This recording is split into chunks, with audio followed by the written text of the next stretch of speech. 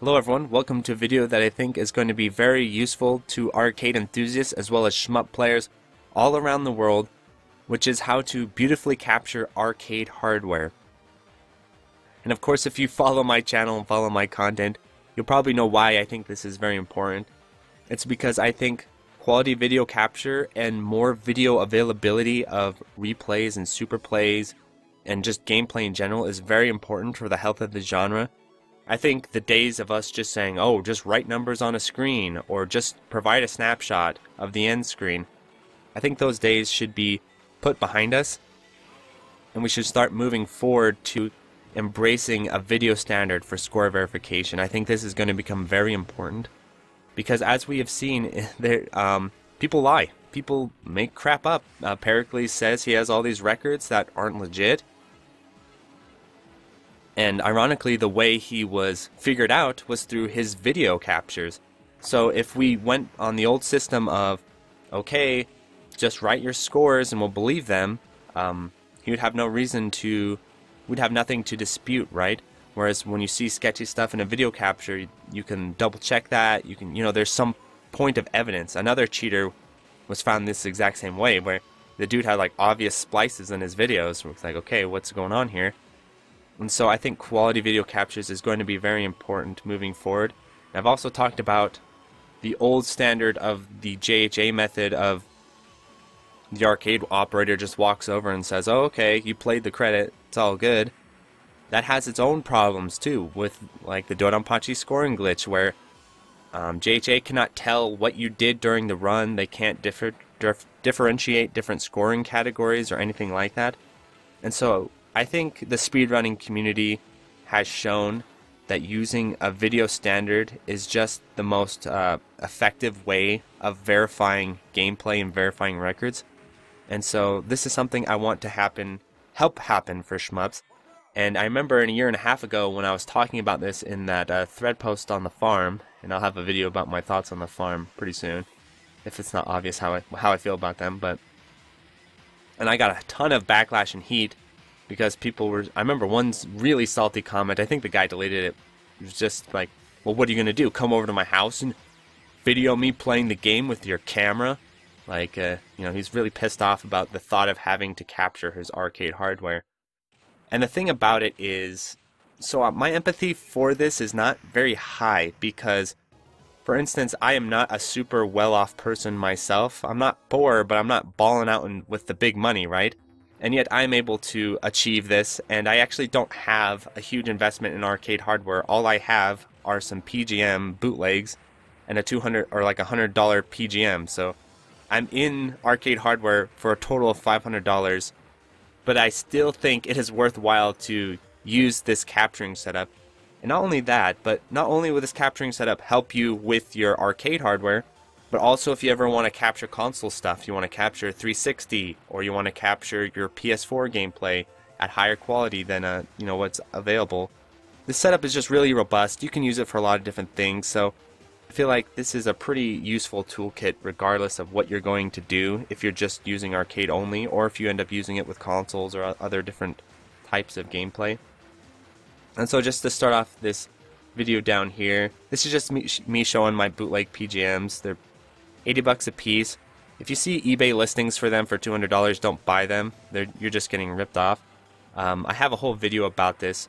Um, they should be around 80 bucks a piece directly from the Chinese maker and all that. I have no idea if you can still get that stuff with what's going on.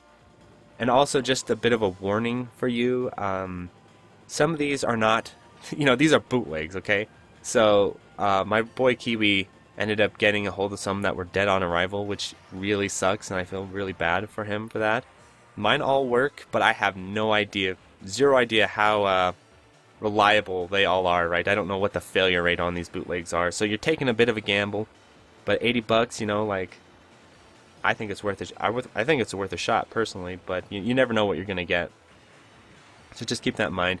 And this is just my Extron. This is what I use to convert computer gameplay onto my CRT. This is how I'm able to play Dodonpachi on Pachi on my standard definition CRT with this bad boy here. A very awesome piece of hardware I'll have to do a video on at some point. But anyway, we'll go down and see the capture itself. So the first thing that you need to invest in is a quality super gun. So that's just the PGM right there. The super gun is this thing attached down here, and we'll get a better look at it in a second. Uh, this is the power cable. Okay, so here we go. So this super gun is the one I recommend. If you don't own a super gun and you're asking Mark, which one do I get? My recommendation is this one. It's the Retro Electronik or something like that. Um, I'll put a link for it so you'll find it. And I guess they have two different models now. I have no idea what the other model is capable of doing. But the one I have, I just recommend the one I have. It's the one that's black and has Ryu throwing a fireball on it. That's when you know it's the right one. Um, yeah, I'll just go over a little bit of the parts here just to explain what they do. Um, that's the power supply. You can actually use an old computer power supply. Another thing I like about this super gun is it seems to be very versatile with what power supplies it can recommend and handle. So basically, you can most likely just throw an old computer power, power supply at it. You know, I got this computer for like $10 at a thrift store and ripped out the power supply, and there you go. And then here we have the output for the the inputs. The output for the inputs, that's kind of a weird, but that's what it is. So this is where you connect your arcade stick and your buttons. If you're you know going directly to the cab, this is where you connect those. Or I have another piece of equipment that allows me to use a 360 or PS3 arcade stick without any sort of extra lag, which is really cool. And then this right here is important. So this is where you're going to connect your arcade monitor. So I'm assuming most people watching this who are interested in this probably have a cabinet and have a you know PCB and all those sorts of things. Um, this is where you're going to connect your arcade monitor. And what's really cool about this super gun is that you can play on your monitor while capturing on the OSSC. That's why this is cool because let's say you don't want to play on a modern display, like you don't want to play on a FreeSync monitor or a gaming monitor, you still can use this capturing setup and still play on your cabinet's arcade monitor, which is really, really good. So that's where your cabinet monitor goes. And then the big one here is this bad boy right here. This is the RGB SCART port and what's cool, again, what's cool about this super gun, and if you have a super gun already, you're just going to want to check to see what features your super gun has and doesn't has, because it has and does not, because it might affect how you're going to set up your capturing setup. What's really cool about this super gun is that it outputs the audio over this RGB SCART. So not only is it sending the video, it's sending the audio as well, which is very, very convenient, as you'll see moving forward. So this is just a, another look at the super gun. Another quick tip I have is uh, if you have a super gun like this, the coin button's right there. And so it's a pain to get up and hit the coin button all the time. But I figured out if you just put your games in free play mode, you never have to worry about that. So all my carts are in free play mode, so I never have to use that coin button. I don't have to get up and do that. Another word of warning is uh, with the PGM especially is one of these is a headphone jack. I think is this one or this one. One of these two. For the love of God, do not actually plug headphones into this jack. I about blew out my ears. I'm not kidding. I had the PGM connected, and I was like, "Oh, I want to hear if it's working." So I plugged in my headphone, and then I turned it on, and I about blew an eardrum. It was so loud. So yeah, don't do not do that.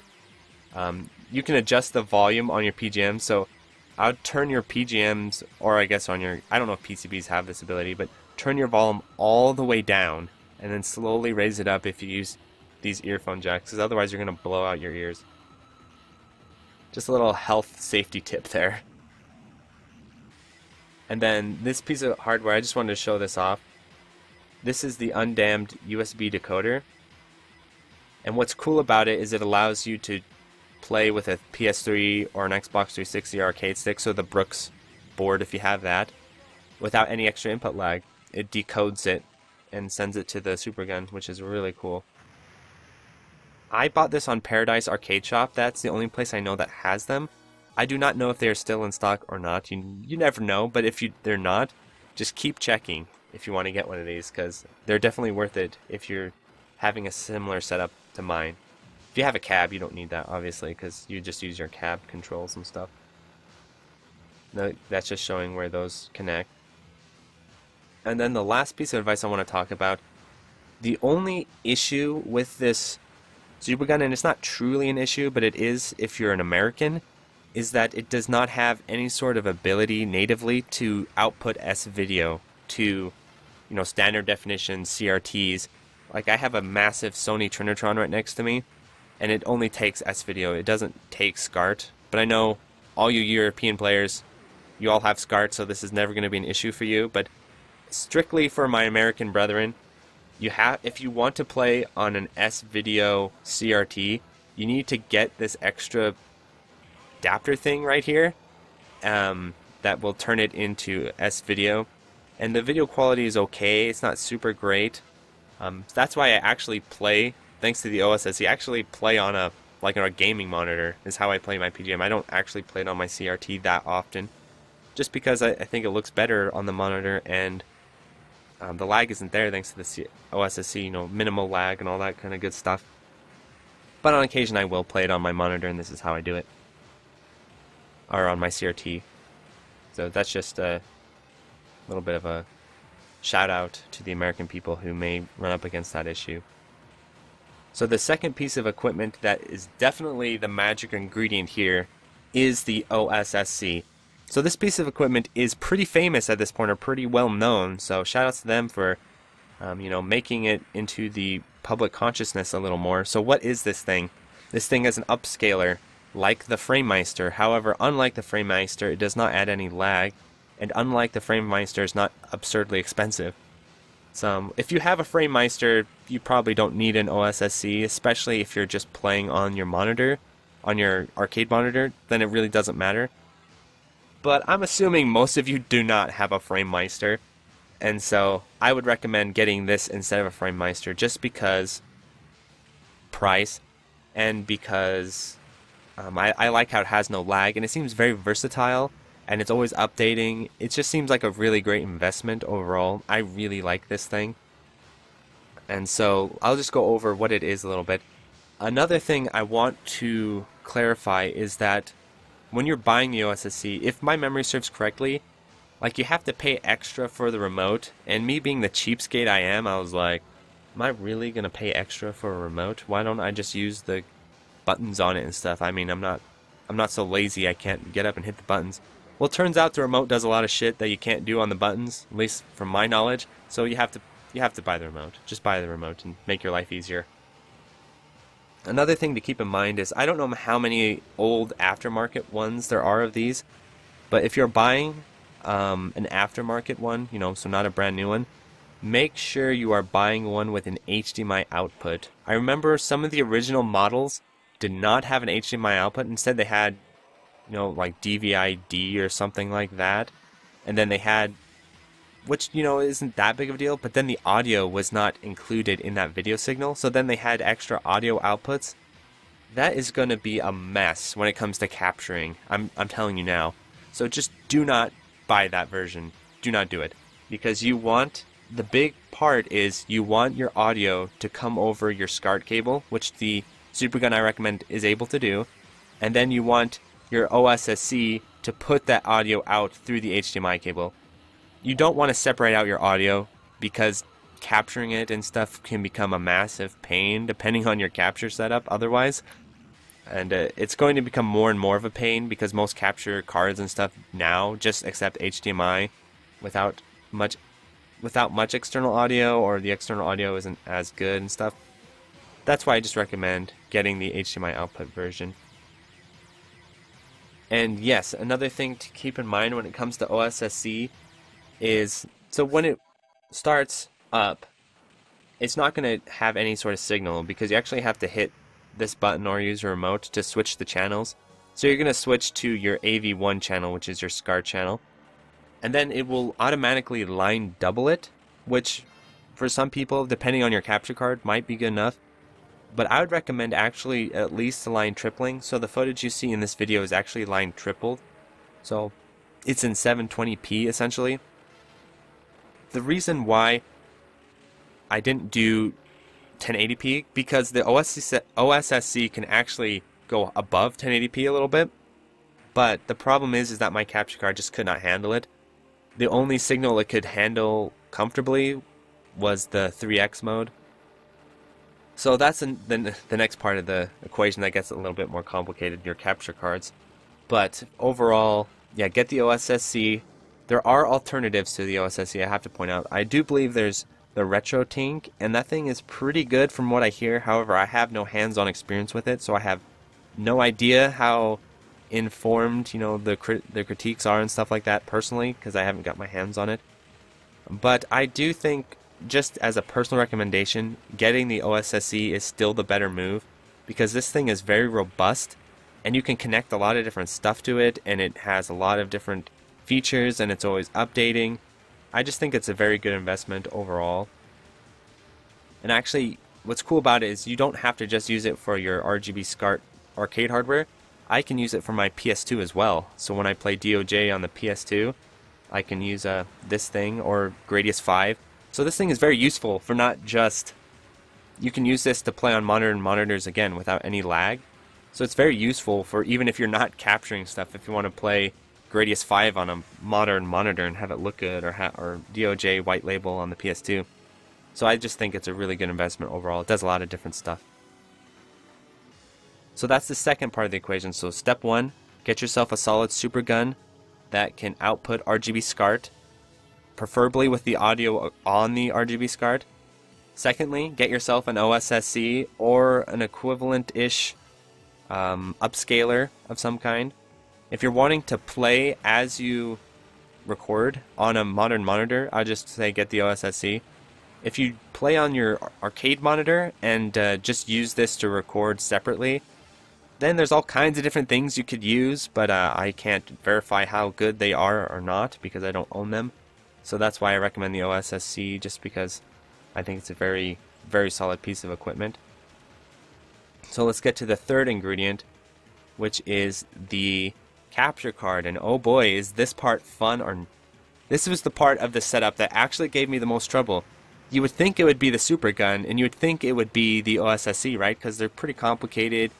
You know there's a lot going on on both of those. But no it was the stupid capture card that was driving me absolutely nuts so the capture card you see here the one that I own which I kind of have mixed feelings towards to be honest is the Elgato HD60S so the thing about this capture card is, as you can tell from the capture of the right of the screen, it does work. However, it is a pain in the butt because at first I tried to use it with OBS and it does not play nice with OBS. I think intentionally it does not play nice with OBS, so I had to download its own special capturing software and use that. that's that's kind of I don't know if I recommend this card. I can verify that it works, but you have to use this this other software to get it to work correctly because what was happening was it was appearing in o, OBS and you know it was recording, but it had this horrible stuttering issue where the gameplay would stutter and stutter and it, it looked it looked visual like if you paused it it looked okay, but if went in motion it looked awful because it had this weird stutter. So that's why I'm not sure if I can totally recommend this capture card but it will work. Um, there are other ones that, if you go on the um, OSSC website and you just look up compatible capture cards, there's not like a nice list that is comprehensive and everything, but you can see different people's comments and examples of capture cards that worked for them. It looked like the AverMedia ones seemed to work well, so you might double check that. All else fails, this thing does work but it's just um, you have to use its own proprietary software instead of using OBS. And I'm sure there's probably a way to get OBS to behave itself a little better, but it's again that's kind of a complicated process, and so I can't fully recommend that as the easiest way to go about things. So if you don't have a capture card, I'd say start looking around the OSSC website for recommendations as to which one would work the best. It looked like the AverMedia ones were recommended and seemed to work well. Also, this capture card could not handle 1080p, which was really disappointing to me. So the capture you see is 720p, which is still way better than most of what we see. But if you want that 1080p glory, you're going to want a different capture card than this one. The thing about this one is it's pretty pretty inexpensive and pretty well supported, so there there is those there are those positives. So to end this, let's go over and this is just me this is just footage of the gameplay on the monitor as it's happening, right? So let's slow down, but so this is uh I like I said I playing on the arcade on the uh, LCD monitor. I'm not actually playing on my CRT. What's also nice about the OSSC is you can add in a nice scanline effect, which you can see in the captured footage. And so this is just some uh, some vintage uh, camera style footage. And I just wanted you to see the comparison, okay, of how good it looks direct captured versus, I would say, fairly well done uh, off camera capture, right? The lighting is still a little funny, but it looks better because it's coming off a modern LCD rather than coming off a CRT, which has like rolling and all types of like desyncing going on in a lot of people's videos. So, anyway, let's summarize this then. Step one get yourself a super gun that is able to output RGB SCART. And hopefully with audio over the RGB SCART. This super gun is the one I recommend. If you have one that can already do that, then you might be good to go. You don't need that. Step two, get an OSSC or an upscaler. The other uh, one that I've heard about is the RetroTink, which is cheaper. So maybe you get the RetroTink, but I don't know if the RetroTink can do 720p or not. Uh, it's had different changes. I know originally it couldn't. Look into that if you're interested, but I would just recommend getting an OSSC, and you have to buy the remote, even though they charge extra for that. Step 3 get a compatible capture card, um, you're going to want. There's this is interesting because there's lots of different options, right? And um, certain ones are going to be dependent on how strong your computer is too, right? Like to run one of these, you do need to have a decent computer. But I do know there are capture cards. I like I have one, an old Chinese one. I'll I'll throw a picture of it on this section that just records directly to USB. So that actually works, but the only issue with it is that it will not output the video to a monitor. The pass-through doesn't work on it. So for the for that one, I actually would have to play on my CRT and then capture it separately. So that's important to keep in mind as well. So those are the three things that you need to capture arcade gameplay effectively. If I price that out, the Retro Electronik is around $120 if I remember correctly. The OSSC is around $170 if I remember correctly. So that's around $300 there. And then your capture card, that one can vary widely as far as what you're going with. Um, but my Elgato, I think it was around 100 bucks. So you're looking around 400 to 500 dollars um, to get this capture set up working correctly and having it look nice. Which again, you know, is a lot of money. But at the same time, I feel like again, if you're in the top tier where you're owning all this expensive arcade hardware, I think it's just part of the cost of uh, doing business, right? Um, it it just seems a little bit wasteful to have such amazing hardware, but not be able to capture it correctly. So that's my recommendation for hopefully this video can uh, help people go in the right direction and I just want to show that it is possible to have really quality captures at a somewhat affordable price like 400 bucks. That's not that's not out of hand when you start getting into the realm of arcade hardware right? Where a single game is like three can be up to two grand and stuff so. Thanks so much for tuning in and before I go let me thank my patrons Dingo, Anthony A, Ben Wynn, Brian Shiver, Double Vision, Depths 20XX, Dunpeel 2064, EC 2151, Full Set, Retro Schmupper, Gus, Kiwi, and I know Retro Schmupper has arcade hardware, um, so I'm curious what he thinks about this video.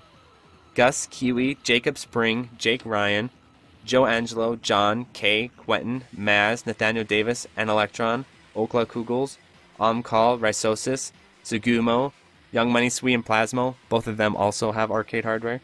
Utakaya, Bohoi TV 100, Malays, Meher Calendrian. Thanks for watching.